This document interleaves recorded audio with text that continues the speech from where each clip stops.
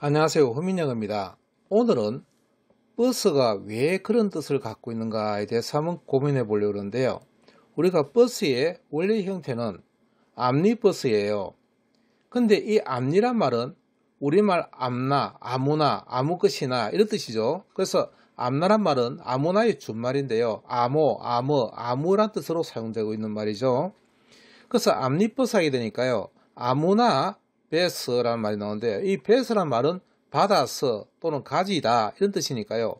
아무나 탈 수 있는 왜냐하면 이 omnibus 즉 버스는 모든 역에서 모든 정거장에서 다 서고 또 아무나 탈 수도 있죠. 뭐 물건이 크든지 작든지 뭐 아줌마가 다라이를 갖고 오든지 아니면 뭐 조그마한 닭을 갖고 있다 하더라도 다 태울 수 있잖아요. 그래서 omnibus란 말은 아무나 탈 수 있는 아무에게 아무나에게 이용될 수 있는 이런 뜻을 갖고 있는 말이에요.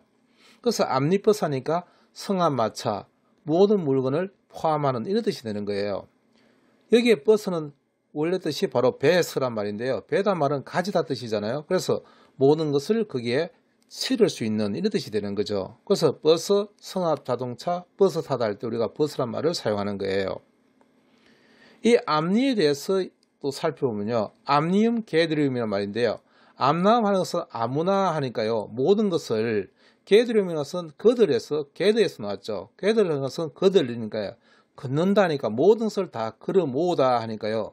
차입된 여러 주의 총괄 가격이나 총액을 뜻할 때 쓰는 말이에요. 여기 나오는 게드는 바로 거들, 우리가 걷는다에서 나온 말이죠. 그래서 걷는다에서 나왔으니까 걸어 모으다, 채집하다, 수집하다, 또는 묶다, 수확, 집적 이런 말이 나오는 거예요.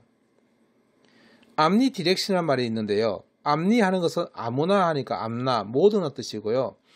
direction 하는 것은 방향을 뜻하는 말이잖아요. 그래서 omni direction을 하게 되면 모든 방향의 전 방향을 뜻하는 말인데요.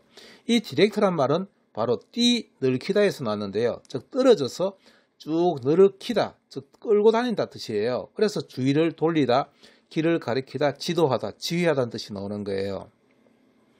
또 앞니에 들어가는 말들 중에 하나가요. 암너 페어리스란 말이 있는데요. 암나 하니까 아무거나 이 말이고요.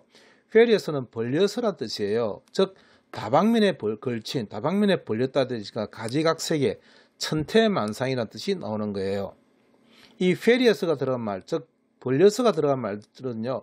bifarious가 나오는데요. bi란 말은 배, 두 개란 뜻이죠. 그래서 두 가지로 벌렸다 하니까 이중의, 이열의, 이종렬이라는 뜻이 나오고요. multifarious 하면 여러 가지로 벌렸다 뜻이니까요. 가지가지의 다양한 잡다한 다방면이라는 뜻이 나오는 거예요.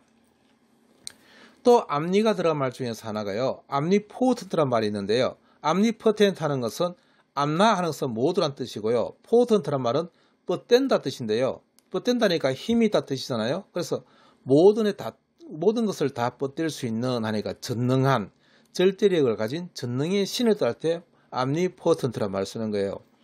potent란 말은 뻗어댄다 해서 나온 말인데요. 세력이 있는 유력한 효능이 있는 또는 성적 능력을 있다 할 때 우리가 potent란 말을 쓰는 거예요.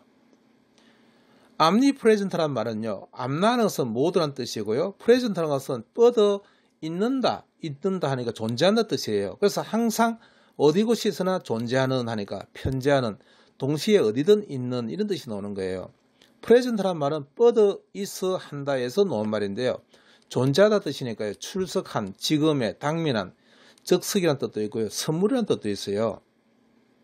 omniscience 하는 것은요. omniscience 하는 것은 omni란 것은 아무나 뜻이고요. 그래 모든이란 뜻이고요. science란 말은 바로 썰켜내서에서 나온 말인데요. science를 살펴보면요. 잘라내다 뜻이거든요. 즉 나누어 분석하다 뜻인데 옛날에는 과학이란 말이 나누어서 분석하는 분석에서 시작된 거예요. 분석 과학이 바로 과학의 시작인데요. 그래서 science란 말이 나온 거예요. 그래서 omniscience 하는 것은 모든 것을 다 과학적으로 안다니까요. 박식한 무엇이든 알고 있는 할 때 암니 사이언스란 말이 나오는 거예요. 암니 섹스란 말은 우리가 암니는 아무나 뜻이고요. 섹스란 말은 원래 썰켜서 자르다 뜻이죠. 남자 구분하다 뜻이에요. 그래서 남녀로 나누다 해서 섹스란 말이 나는데요. 성, 성별, 성욕, 성교하다 이런 말이잖아요. 그 암니 섹스라니까 모든 성에 다 된다 하니까요. 남녀 구분 없이 다 할 수 있는 이런 걸 암니 섹스란 말이 나오는 거예요. 마지막으로 omnivore란 말은요. vore란 말은 빨아에서 나온 말인데요. 먹는다 뜻이죠. 빨아먹는. 그래서 omnivorous 하게 되면 아무 것이나 먹는 이런 말이에요. 그래서 우리가 vorous란 말을 쓰게 되면요. 어, 여러 가지에 쓸 수 있는데요. 예를 들어서 carnivorous 하게 되면 carni하는 갈라내다는 그 살이 있잖아요. 그 살을 갖다 먹는다 하니까 carnivorous 하는 것은 바로 육식이란 말이 되는 거예요. 허브를 먹으면 허비보러스 이렇게 했어요.